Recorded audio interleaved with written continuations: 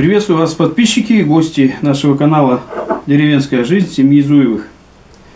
Сегодня хотел бы этот видеоролик посвятить замене ведущей звездочки на бензопиле штиль 180. Сложного здесь ничего нету.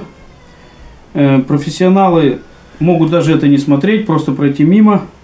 А новичок, который впервые сталкивается с обслуживанием бензопилы или заменой расходников каких-то, может остановиться и посмотреть.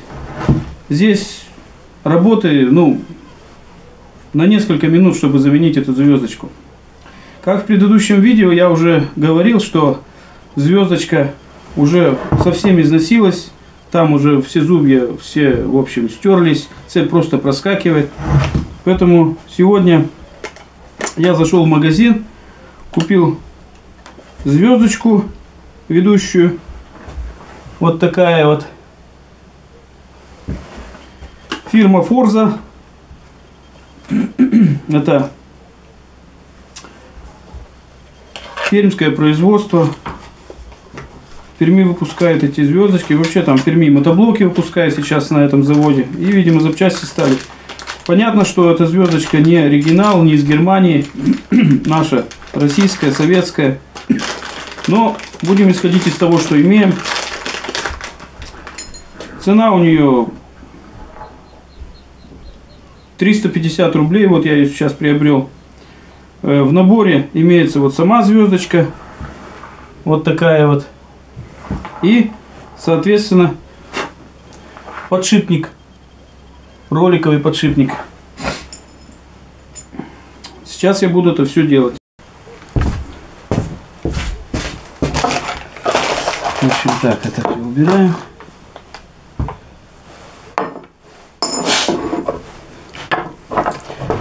Для начала нам нужно снять шину, открутить крышку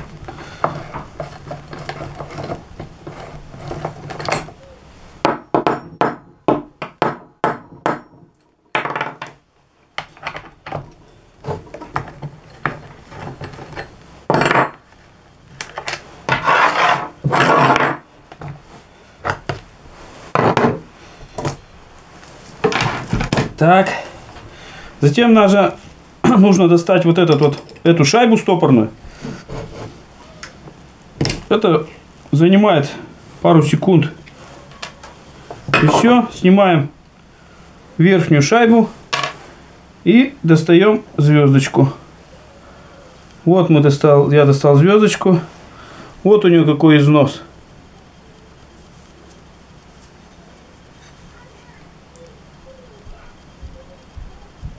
Звездочка уже износилась.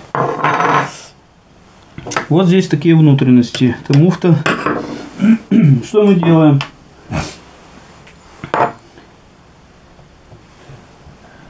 Подшипник еще нормальный, старый, его можно уже еще пока оставить. Ну, вот звездочку он идеально подходит. Вот. На улице сейчас мороз, минус 25. Поэтому немножко все так задубело здесь. Так.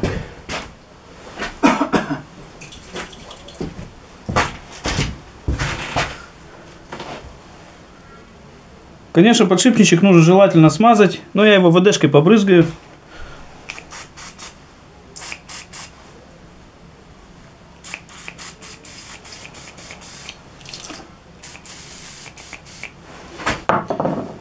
Пока ВДшкой побрызгаю. Одеваем подшипник на вал, ведущий обратно. И затем одеваем сверху звездочку.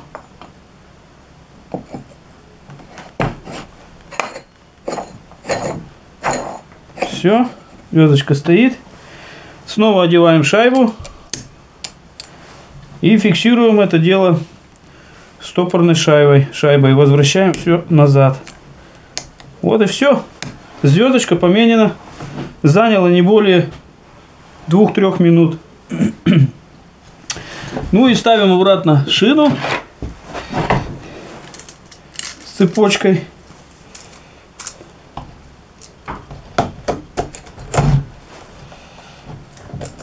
Так как звездочка новая, нужно цепочку немножко ослабить. Для этого берем, просто откручиваем винт натяжение цепи. Немножко назад сдвигаем штифт, чтобы одеть.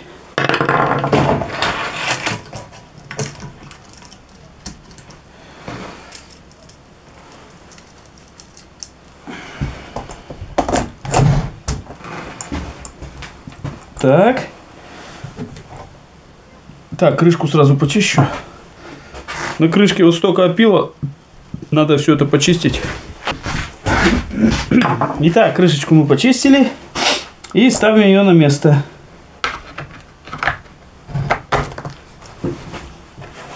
Закручиваем гайки.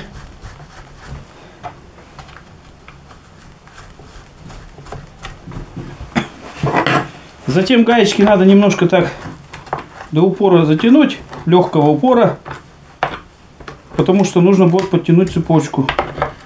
Вот так вот. Теперь нужно натянуть цепочку. Но цепочку натягивают следующим образом. Опять этот винт натяжения начинаем закручивать обратно. И цепочка, вот сейчас она провисла. И по мере закручивания цепь начнет натягиваться. Вот, мы видим, цепь уже натягивается.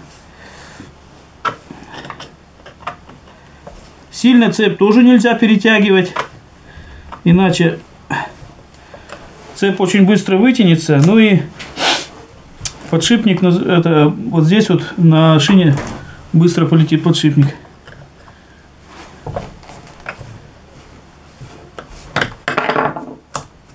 Примерно так вот я на сантиметр с небольшим усилием цепь оттягивается, это нормально. Так, все, теперь дотягиваем гайки на крышке до упора. Сильно, конечно, не нужно тянуть, без фанатизма так. Закрутить.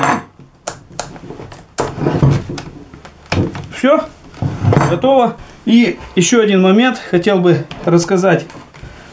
Если вдруг у вас на пиле ну, порвался воздушный фильтр, или там вообще он уже никуда не годный, то его можно заменить э, простым поролончиком, можно даже не покупать в магазине, тратить деньги, если вдруг у вас есть тоненький поролончик. Ну, каким образом я сделал? Вот, сейчас показываю. Снимаем крышку. Сняли крышку. Вот. Воздушный фильтр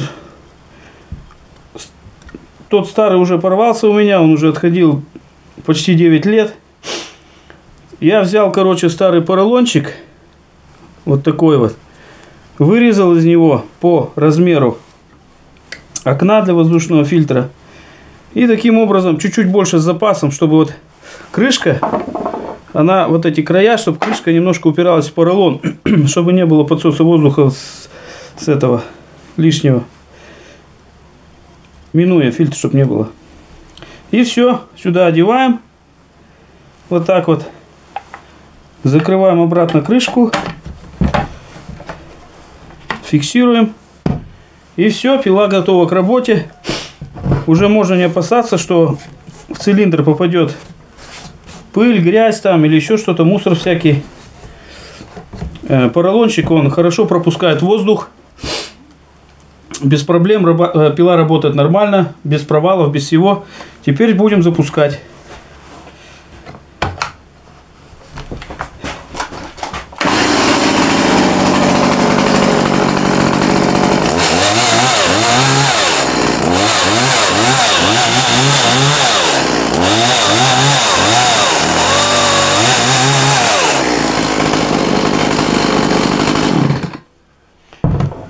Ну вот, пила работает, цепь не проскальзывает. Натянуто нормально. Соблюдайте меры безопасности при работе с бензоэлектроинструментом. Всегда пользуйтесь защитными устройствами, защитными перчатками, очками, если это необходимо. На этом я завершаю свое видео. Если кому-то это было полезно, подписывайтесь на наш канал. Подписывайтесь на наш канал. Подписывайтесь на наш канал. Оцените наш труд. Ставьте лайки. Ну и всех вам благ. Всего доброго.